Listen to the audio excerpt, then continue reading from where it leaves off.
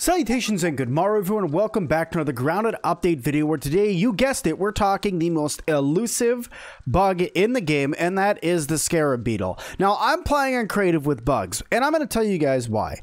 I just spent the last two hours trying to record this video because that is how hard it is to find these little things. They do not like to be found. They like to just disappear and go places where you won't be able to find them and all around they like to go get themselves stuck in things, get scared scared by other insects in the yard, and then run away at alarmingly fast speeds like you are seeing right here. Now, these things, you are going to need to find them and you are going to need to kill them. Look at that. It just ran underneath the bike tire which means it's probably now gone. And that right there is exactly why these scarab beetles are no joke. They are not fun to fight. They are not fun to find, and they are not a cool thing that has been added to the game let's face yes it, they are cool that they got added to the game.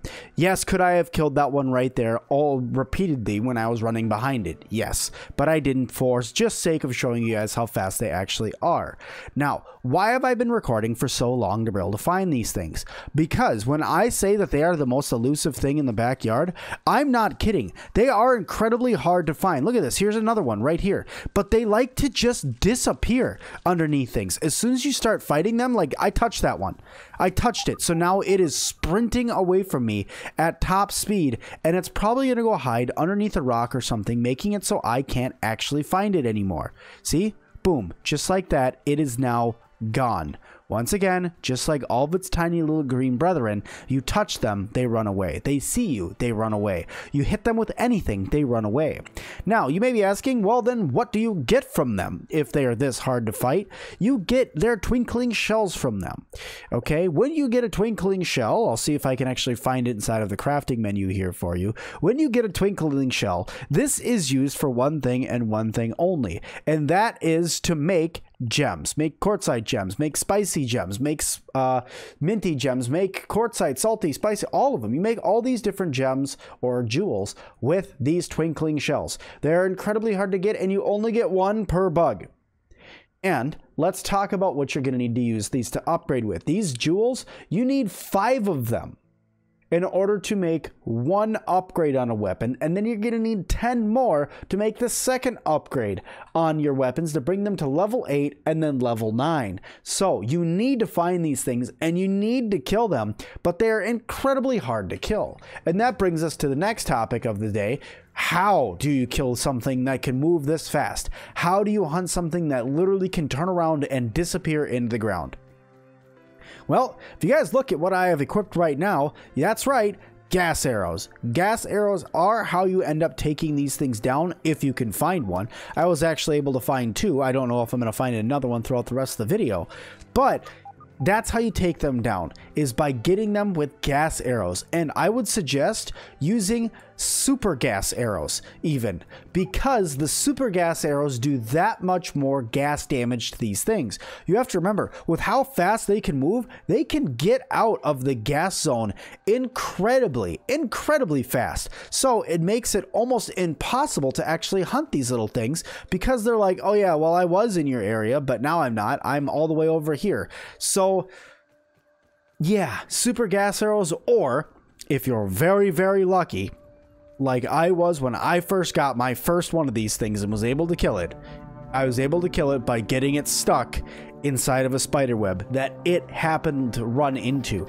Not by me, it just happened to be stuck in it when I walked up there. And that was a lucky find. If you ever see anything like that, immediately take advantage of it. Now, to answer your guys' next question on where do you find these things, literally just go ahead and uh, take your cursor and just kind of circle this way, all the way up over here. Yeah, all of that, and then all the way back down over here. You find them everywhere over here. There's no specific spawn location location for these things.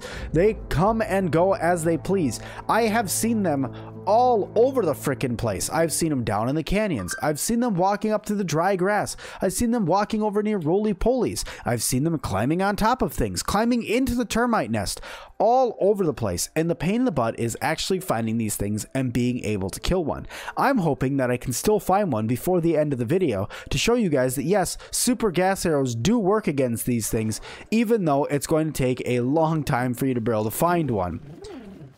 So I guess while I'm running around, I'll give you guys another tip. While running around looking for these little things, stay up in the air, stay above the ground because when you're on the ground level, they can see you, you can see them, and they tend to run away from you before you ever get anywhere near them.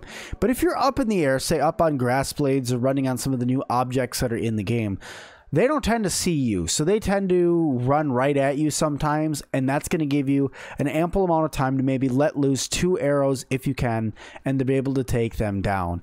Also, if they are running straight towards you and you have like a level 7 Club of the Mother Demon, you can club them with two hits, but you got to be really quick on how quickly you can get those two swings out and make sure that you have the stamina to be able to run after them.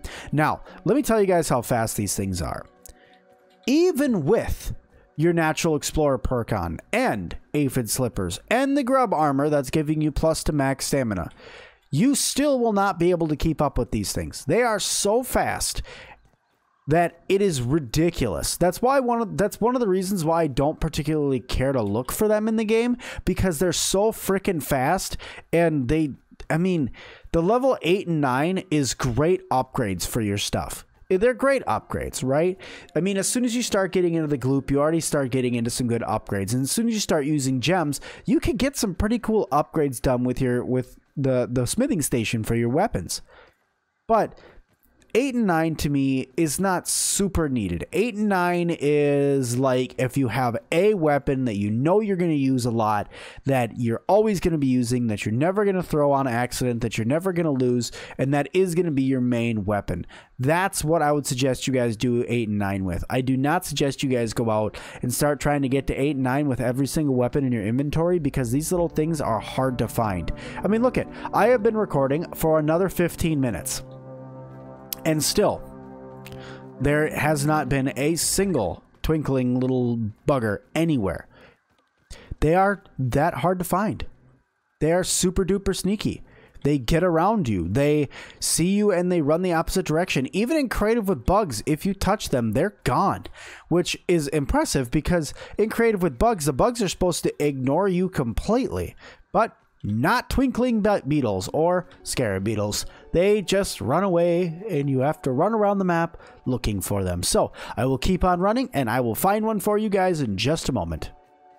Okay, so I have been searching for 30 minutes, running around trying to find the scarab beetle. I'm not kidding. Literally 30 minutes I have been looking, trying to find another one. You saw the two right away in the beginning. It is now a complete another day in the game. I have literally spent an entire day running around in grounded trying to find another scarab beetle and have not been able to find one. So when I said that these things are elusive and hard to find, I was not kidding. They are incredibly hard to find. I have looked in canyons. I have looked in the grass. I have looked in the upper and lower yard. I have run all over the frickin' place. So, sadly, this is where I'm going to leave this video. I wish I could have shown you guys how to do this, but I'm going to have to just show you guys in a live stream. But that is everything about the Scarab Beetles and how annoying they are. So I hope you guys enjoyed the video. If you did, hit the like button for me to let me know you guys enjoyed watching my suffering. If you guys could, also leave me a comment down below telling me how much you enjoyed watching my suffering. And also, if you guys could, don't forget to subscribe. That way you guys can enjoy more of my suffering. But thank you guys all so much, and as always, I'll see all of you guys in the next round of suffering.